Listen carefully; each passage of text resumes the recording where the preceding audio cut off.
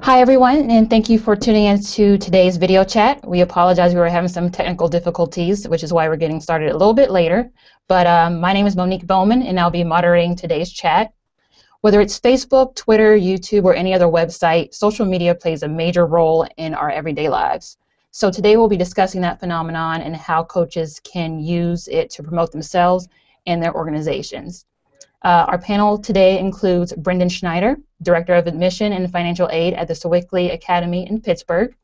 Brendan is, was a force behind establishing the Academy's online marketing efforts and also consults with high schools about their social media programs. He also has his own blog at schneiderb.com. Also joining us today is Shaun Soderling, Director of Operations for the University of Evansville.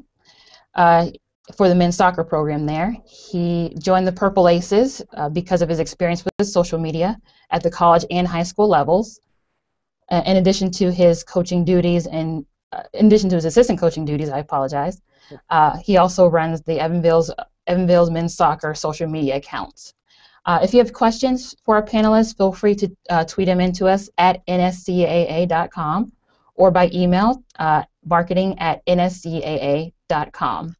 So uh, we'll try to address your questions on air, but if not, we'll try to also include it in a wrap-up article at nsca.com. So without further ado, let's jump into our conversation, starting with Brendan. Uh, why should high school uh, and club coaches consider using social media? Uh, it's a great question, Monique, and I think that um, the biggest reason is that their players are there, and and their parents are there. Um, you know, at Sewickley Academy, we've noticed um, anecdotally in the last year and a half a huge increase in the number of our high school students that have been using social media, specifically Twitter. And I think it's important that you're there as a coach. Um, you have to monitor it because the kids really aren't sure whether it's private or not. And we've had some incidents of that over the last, uh, again, 18 months. It's also a great way to communicate and then really which I mentioned before, the education piece. I think it's important as you educate the players on the field that you're helping them out with the social media piece, which is pretty important and they can get in trouble with pretty quickly. Mm-hmm. Uh, Shaun, uh, similar question, but for the um, college uh, coach, why should a college program be involved in social media? I think it's a great way to get your name out there. Uh, it's it's a, a thing where these days, I mean, every child that uh, we can think of has a cell phone or has some type of social media account. Uh, and, and, the thing with colleges, especially, is we have to market ourselves out there uh, to want to get uh, kids to want to come to our school to play here. And so, with social media, is we have to look at the trends that are you know what kids are following, what are the things that they're uh, they're interested in on, on Twitter or Facebook, whatnot, and kind of promoting our our school uh, enough through there that they kind of catch it, they follow along to where you know they show up to our camps, uh, then to one day uh, get recruited and possibly play here at the University of Evansville. Okay. Uh, and the question for both of you: How much time does it take um, to to run these kind of programs? Shaun, we'll start with you. Well, I can tell you from my experience, uh, just before I joined on the University of Evansville, uh, I was at Vincennes Lincoln High School in Vincennes, Indiana, and there was a, a good program, but just didn't have any type of backing, um, whether it was from the community or the school itself. And so I had to use social media to really pump a, a student population, uh, community population to, to come out to our games. Uh, so for me, I, I admit I do put a lot of time into social media, and I'm pretty sure my fiance would tell you I put too much time into uh, my social media. But um, I think it's something to where social media is just like technology or anything else. It's consistently changing and getting better. And so if, if you're not on there for you know uh, two hours, there may be something that you have missed that you could have used uh, uh, to your own. So for me, I think that you, the more time you put into it, uh, the more marketable you become because the more people are going to see it. Okay. Brendan? Yeah, Shaun, I'll agree, and I think my wife will echo your comments uh, with my social media use. But I think social media will take all the time you give it, and that's not necessarily a good thing. Um, and I, you know, to echo Shaun, I'm on quite a bit, but I, I think the best thing to do is to set limits and to create a system or a strategy that works for you. So uh, over the course of a number of years, I use uh, certain tools that allow me to monitor and schedule and send and then um, at a minimum, I'm looking three times a day. Usually when I get into the office in the morning to get my coffee, um, right around lunchtime, and then when I leave at the end of the day. Uh, that's at a minimum. I'm using it much more, but I think that if you're just getting started, if you set up a schedule uh, along those lines, I think it'll, you know, you'll be successful. And, and to add what he just said too, I mean, you can find out uh, your specific demographic. You know what times that they're actually on viewing Twitter. You know, uh, a study I've done, a lot of soccer-related um, uh, followers, whether it be prospects or even other coaches, are generally on between a noon time, even in down to uh, 7 p.m. So for me, uh, with what I try to do, a lot of stuff that I really uh, with my tweeting or, or Facebook type stuff is I, I do go a lot between noon and that 7 p.m. time period because that's when I know uh, most of our traffic is viewing what we're putting out there. Yeah. Okay. Um, you kind of both touched on this. What kind of tools do you use to, well, let me back up. Um, for high school and youth coaches, Brendan, um, what platforms do you recommend um, starting off on? You mean which channels? Which social? Yes, which channels? Yeah. I would I would really think backwards. What audience are you trying to reach? So if you're a high school coach, and you know you could argue parents as well as kids. Um, for kids, I would say Twitter. Um, for the parents, I would say Facebook. Uh, if you're a youth coach, and you know, depending on how young you go, you might not be trying to interact with the kids on social media. So typically, Facebook is where most people are. Uh, so that's where I would start. Brendan, uh, any follow up to that for especially for college coaches? In terms of, I would or, say, oh, sorry, you mean the, the, channels or the tools? Uh, channels. The channels, I, I would say Twitter. I mean, Shaun can maybe speak to the college use a little more, but again, I've seen Twitter just explode with kids, almost taking the place of instant message or um, uh, text messages. And then even we've had kids that are getting off of Facebook. They just are getting sick of it, so they're on Twitter. Um, a lot. Shaun, any follow up? Uh, yeah, uh, just you know my experience with the high school uh, level for the last ten years before coming to the University of Evansville. Uh, for me, Facebook was uh, a big thing because at the time that's what everybody had. Uh, when I got to Vincennes Lincoln, Twitter was not a big thing because I had come from a school of 3,000 kids going to a school of barely 700 kids. So you know the, the times had yet to change to where I had I had moved to. Uh, and I had just made a, a group page uh, on Facebook, and I allowed that to be the place where parents, uh, players, students, the community could get onto uh, to see what we were doing. I would definitely say now, uh, you know, and I, I, had just read about this the other day. Uh, a big member of Facebook that was on their board has just left, and the reason he had left because he was at a friend's house. some 15-year-olds, 13-year-olds were there uh, he was just asking them about social media, and he asked them what they were using, and not one of them said Facebook. They all said Twitter or Snapchat or other various things. And he asked them why they said why they didn't choose Facebook, and his exa- their exact quote was, "Facebook isn't cool anymore." and, he, and, he, and whenever he announced his resignation, it was that's the demographic that I'm going after, and if it's not cool to them, within five months or five years, so to say, this is going to be quote unquote dead. Uh, so for me, I just know with a lot of high schoolers because it's easier to check Twitter than it is Facebook. Uh, me, I use the the Twitter a little bit more for our social uh, backgrounds for UE and myself, just because it, it's more accessible, it's easier to get to, and I think it's more demographic driven than Facebook is. Okay. Uh, you kind of touched on this, Shaun, um, but we have a question from Twitter from Miami Valley YSA um, talking about Facebook, uh, a private Facebook page. So, mm-hmm. what are some of the pros and the cons of setting up that um, private Facebook page for league coaches? And then, how would you go about doing that? Well, I think uh, just kind of from what I've I've experienced in the past with what I've done, um, you know, it's all about what you control on there, and you can set your your page to where no one else can write on the, on the page, only you as an administrator. Uh, you can put it to where select people can write on there. Um, that was kind of one of the things that I, I found out with making my high school page was uh, opposing teams uh, would, would get on there and, and kind of post some, some trash talk maybe before a game, but then after we beat them, they didn't really talk any more trash after that.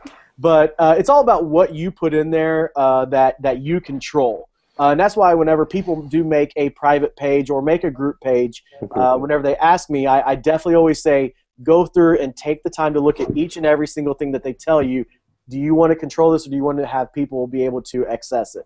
Uh, so it, it, for me, I would say really dig deep into your account settings on that private page uh, and just make sure, you know, it's one of those things where the less that people can write on there, almost that everybody can see, is is worse. The the more that you want um, more people to see, you type it yourself. Don't really let anybody in there because you're the one in charge of it. And if anybody else writes something on there, you know, ultimately it's going to go back onto you. Uh, so for me, I would say whoever makes the page, get that administrator, and you be the one who write on there. And if, if they have something you can put on there, uh, you know, if you have any questions, email me at whatever. Yeah, if, if I can follow up, I agree with Shaun, and I think a page by its nature is public. So if you want to use it as a bulletin board and then lock it down as Shaun suggests, if the question is designed to um, create a private group where people can communicate and use Facebook as the vehicle, then a group, uh, and Facebook has expanded, excuse me, their yeah. group offerings where you can have it be closed, only let certain people in, and and depending on what the you know the person who asks the question is trying to do, a, a private group might be a better option. Yeah. Okay. Uh, we also have another uh, tweet in from at Vandy01. Um, what what coaches and programs do you consider social innovators and leaders, and why? And uh, Shaun, would you like to go yeah, with this I'll one? start. Well, okay. first of all, hi Amanda. I saw that tweet earlier. um, I'll tell you one that I've just really uh, found recently, and, and, and for me, it's hard to say just three because I don't look so much just at soccer coaching, but I do look at what other coaches are doing uh, in various sports. Uh, one that I've really gotten recently is uh, the coaching family on on Twitter, and they they retweet the best things, and and it's to where they are going on consistently throughout the day, finding people who are posting lesson plans or or even uh, things to do with your your youth league and things like that. And and so they retweet so many different people. I don't think I could pick just three of those. Um, to to choose from. But another one that that is really interesting to me um, is John Calipari at the University of Kentucky men's basketball team. Uh, John is is a marketing guru, so to say, uh, and the way that he uses his Twitter was something that actually inspired me uh, while I was at uh, Vincennes Lincoln High School. Was he used his not so much for recruits more than he did for the community and to get more people out to the games. And I really learned through his his Twitter account that reaching the community is for you. So it's kind of a kill two birds with one stone type thing. So for me, I, I say find any coaches of any sport really um, that that attract you uh, in the way that they do things. And and like I said, the coaching family, especially especially soccer specific, is very very good.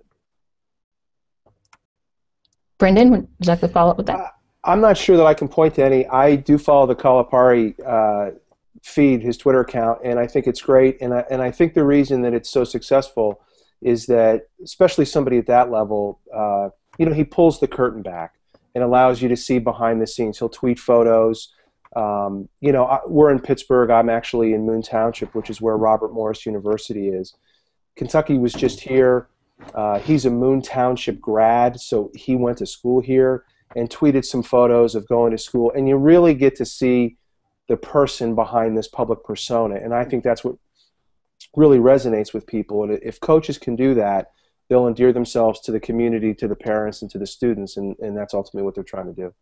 And I can say from from my experience with with Vincennes, uh, you know, I used my own account uh, to truly let you know, kind of as Brandon said, see that behind the scenes type thing because I think that's something that draws people. Yeah. Um, is that behind the scenes reality show type feel to it? Uh, you know, I I used my account to give you the eyes that I see, what I see. Uh, if you go onto our Ace of Soccer page or even mine, I, am consistently putting up photos and videos of us during training sessions or or anytime that that we're together, just to kind of give you behind the scenes of of what it really is like because it's more than just kicking a ball.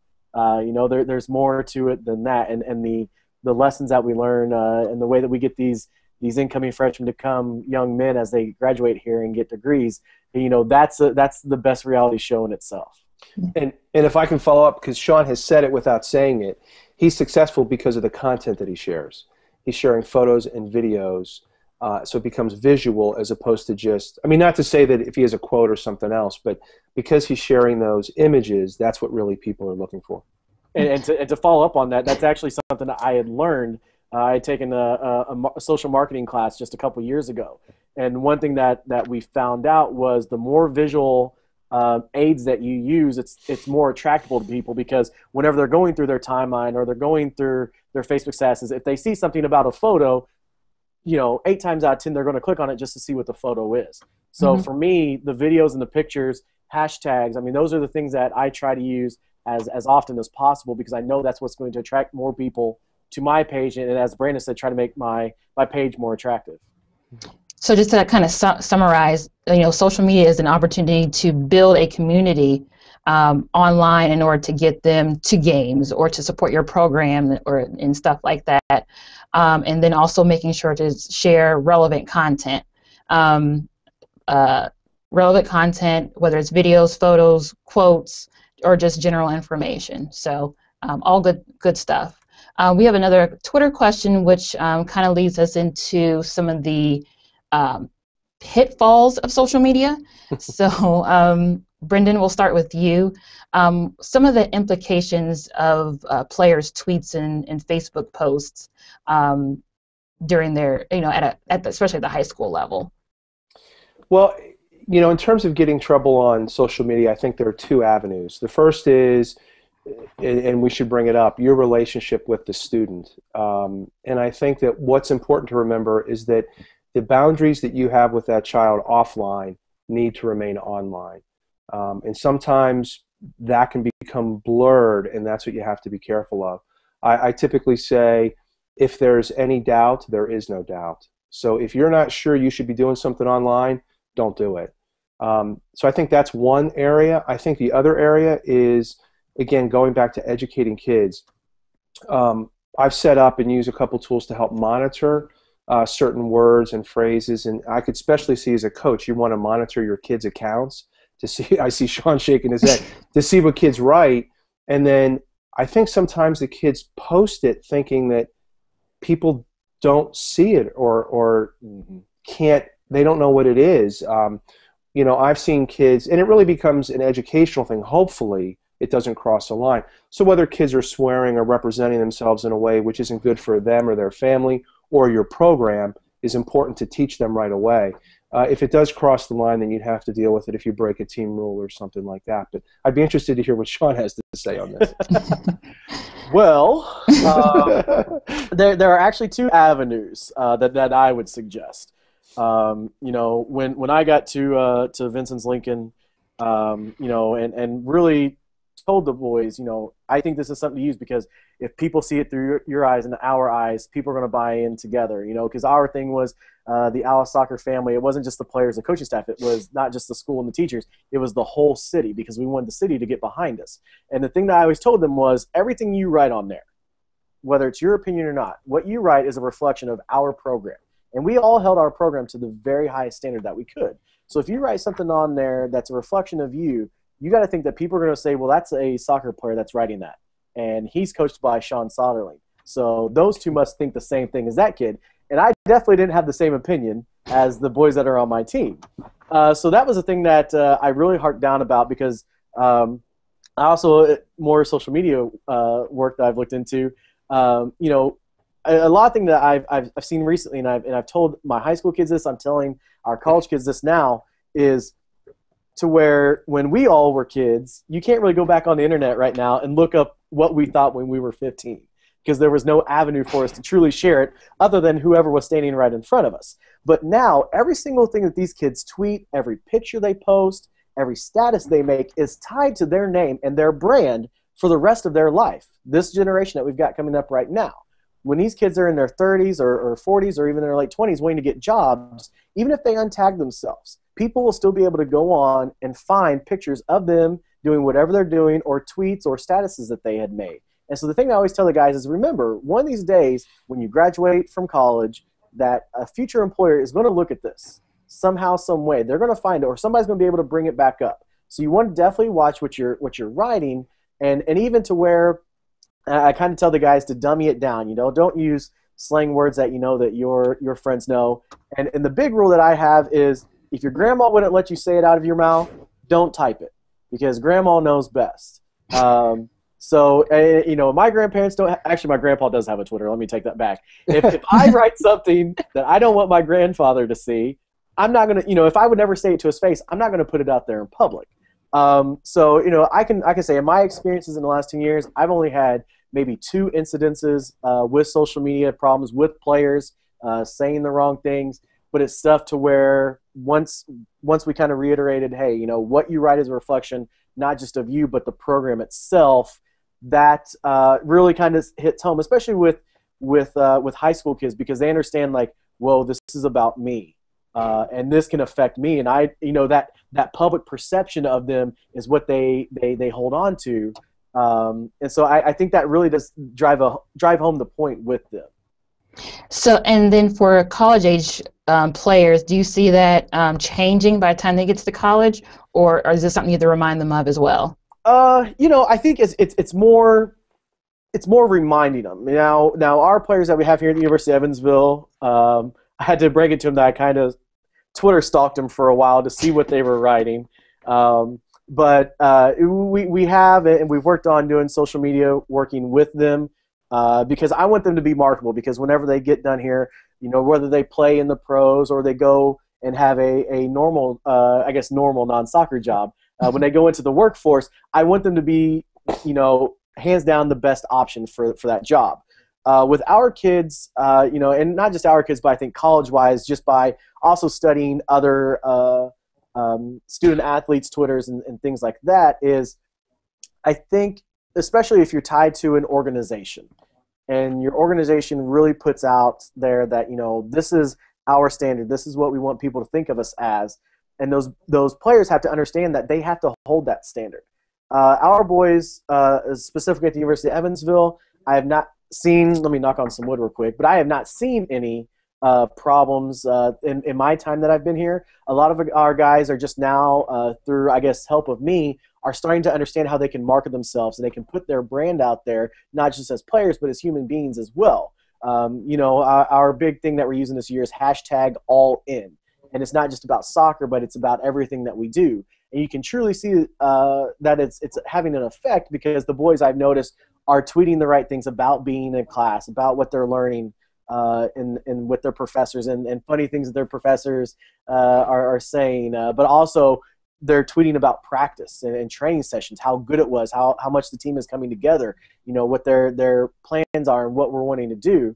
Uh, so at the college level, I think because it's a more a more mature level uh, than high school, I don't think you have as many problems. And it all comes down to what is their social media background before they come to you. Because if, if you have a kid who's never had a coach or a teacher or a parent really harp down on them about what they're putting out there, then you could have a problem. But that's where you need to have kind of a, a little lecture uh, before everything starts to say, you know, this is what we expect whenever you do use these means of communications. Um, so in college, I, I, think you've come to notice a lot more uh, student athletes are very careful, and just because of there's very many there's various programs out there that colleges are buying. I, there's one that I can remember uh, called in, in Indulgence U or something like that, um, to where I know there's a ton of universities that are on there. And if a kid tweets something and puts like birthday party for their cousin, the coach, the AD, and the dean of students gets a pop-up message that that student wrote something with the word party in it. Um, now they can go in there and check, and it'll say at my cousin's seven-year-old birthday party. Uh, but anytime that there's something on there, it tracks faces, it tracks things that are in the pictures, various as cups, bottles, any type of paraphernalia. Every single thing that they write is going back to their coaches and their their university administration. Wow, did not know that. Hmm. So t- transitioning a little bit from how to use it for your organization, we're going to kind of transition a little bit and talk a little bit about how to use it for the job hunt. Um, NSCA.com recently posted a, um, a, brief article about cleaning up your online um, profiles to make a good impression, um, which goes beyond just the interview or in person. So um, start with Brendan. Um, how would you, what recommendations would you present to coaches, you know, on the job hunt, and then how social media plays into that. I think the first thing I would do is just Google your name and see what comes up. Um, I did not see the document that you guys sent out, but I'm sure that was part of it. And you know, it can be pretty scary, especially if you're young and maybe doing some of the things that Shaun suggests. You know, Google doesn't forget. Um, you know, especially I'm getting old, so when I was a kid, none of this stuff, thankfully, comes back. So I think Googling your name is the most important thing, and then dealing with those things that come up, because there are ways to change that list. I think then, um, and again, I'm not sure if this is real big in the you know soccer coaching world, but paying attention to LinkedIn and having that be fully flushed out. And the important thing to pay attention to are keywords in your about section or description so that people can find you. Um, I also think, you know, and I, go back and forth on the whole, um, you know, what do they call them? Endorsements on LinkedIn. They have that new thing. I, think that's a bunch of malarkey. But um, I think that having the keywords, allowing yourself to be found, um, talking about what you meaningfully did in positions, uh, even if you're just out of college, uh, you know, meaningful roles can can be important. And then I think also taking your social media channels, whether it's Facebook or Twitter or YouTube or Pinterest or Google Plus for that matter, um, lining them up with what you're doing on LinkedIn and turning them from a personal to a more professional uh, kind of uh, persona. You know, uh, Shaun mentioned it. Everything online becomes your that you do becomes a personal brand. So if you're going to come from that student perspective to that uh, professional perspective, I can I, I, think it can only help you. Okay. Sean, uh, I I think um, you know the LinkedIn is something that I've just tapped into over the last couple of years. I definitely think you know that's the professional route to go uh, when dealing with future employers and things like that. Um, you know, with, with Facebook, especially as you get older, I I mean I my college didn't have Facebook until I got out of college. Then we were able to get onto it. I can't even imagine the people I went to high school with and people I went to college with had we had Facebook and future employers could see what uh, some people that I associated with. Uh, you know, I, I, couldn't even imagine what that would be like. And, and I do think what what Brandon says is right about googling yourself. And uh, you know, I had an instance actually during this past fall where a false account on Twitter had been made uh, using my actual name. Mm-hmm. Um, and I wouldn't have known it if I wasn't bored and Googled Shaun Soderling. Um, but I, I, saw that somebody had wrote uh, something using my name, and a friend of mine actually had responded back to it thinking that it was me. Uh, and so I was able to go on at that moment in time and, and find, uh, and the things that this person wrote, thank goodness I found it before uh, my, my, my athletic director at the time found it because it's, they were writing things that I definitely would have been fired for and probably would have never had another coaching job again because of what the person was writing. Um, so th- you know, thank goodness I, I, was able to to go on there and do that. And if anybody from Twitter is watching, this is why I want to be verified. uh, uh, just would like that blue check right beside my name. But I, I think you know, for me, I, social media definitely helped me get the job that I'm in now. Uh, I'm not I'm not going to hold that back by any means because I know in my time with the high school using the Facebook, using the Twitter, it was things that our head coach Mike Jacobs was always telling me was very fascinating to him and something that he wanted to learn more about because he knew that it would work uh, with the University of Evansville men's ACES soccer program. Uh, so I would say definitely for me, the more that I did helped me out, um, just because of with uh, you know within coaching specifically, you have to know more than just how to coach soccer nowadays, um, and everybody has to have their own little uh, thing that makes them a little bit more unique. With me, uh, you know, on top of my coaching, my social media network uh, background, I have a. I'm currently working on a degree in marketing. I also have a, a, degree in broadcasting. So not only can I do the social media, but I can make my own videos. I can produce my own movies, produce my own audio, t- things like that. Mm-hmm. Uh, and putting those out into social media, I think personally makes me a little bit more attractive than say the next guy. So I think as long as you your Facebook, your Twitter, and everything you do, you know, going back to that rule, if you wouldn't do it, if you wouldn't say it or show it to your grandmother, don't put it on there. Uh, and and definitely with future employers, if you want them to truly see it, put it out there so that way if they do happen to Google you, they do happen to get on to your page, whether it's private or or not.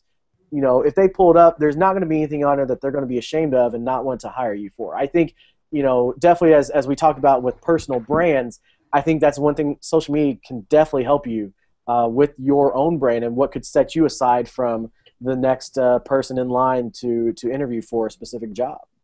Mm-hmm. Great. Um, any final thoughts before we wrap up? Yeah.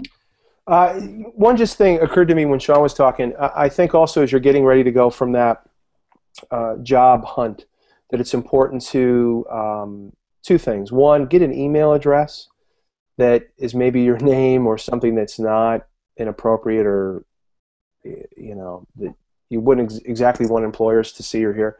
The other thing to do is, especially as you're young and, and jumping out and getting involved in social media, is I would encourage everybody to go out and get their um, social media ID and try to get it consistent across all of the different channels.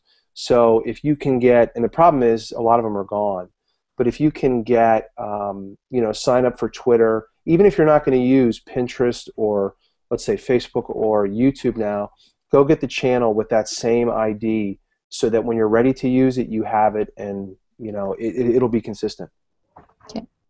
Shaun, any final thoughts? Uh, I would, you know, I just kind of the same thing along with Brendan. I think uh, you got to keep it consistent. You know, for me, uh, you know, my everything that I use is Coach Soderling. Um, and so for me, I think you know that that's what verifies me as as my brand because I am a coach. Um, so I, I, want people to relate the two together. Uh, you know, and just for anybody who, who's listening, you know, uh, follow me on Twitter. Uh, any questions that you have, whether it's how to use social media, uh, especially high school coaches, you know, things that they can do to to want to gain more population at their games and, and more population for their team, uh, you know, definitely feel free to get a hold of me. Uh, you know, as as my my fiance and, and all the coaching staff here can tell you, my phone is at my hip at all times uh, or in my hands because I'm constantly taking pictures or tweeting about what we're doing. Um, anything that I can do to help out with, with everybody who's watching right now, uh, you know, Brendan and I can definitely help out with, with you all in, in that facet. But I think personally, social media is is we're we haven't even seen the the peak of it yet. That's just my opinion. I I'm thinking by the time I'm uh, not fully black hair and I don't have to dye it anymore, it's it's going to be a whole whirlwind um, different than what it is now. But you know, I, I definitely would say. You know, as we said, it's all about the brand. It's not just you personal, but if you make a youth league page or a team page, that's the brand that you're putting out there for the public, as Brendan mentioned. And what you want people to have is that perception is what you've got to put on there. All right. Well, thank you both very, very much. Uh, and thank you all for tuning in today. Um, a recording of this um, live chat will be available at nscaa.com slash live. Um, and then we'll also follow up with any um, questions we weren't able to, to get to today. Also want to encourage you to um, to sign up for our newsletters, the NSCA newsletters. Um, if you're viewing on, on our um, home on our web page, um, there's a blue box off to your right hand side, and you can go ahead and click that and go and sign up. And then be sure to check out our, some of our articles, especially the one "Professionalism in the Digital Age," making the right for, uh, the right first impression online. Um, and then any other uh, questions or comments, please be sure to tweet it to us at NSCAA or at NSCAA HS for high school. Um, again, thanks everyone. Goodbye. Thank you. Thank you.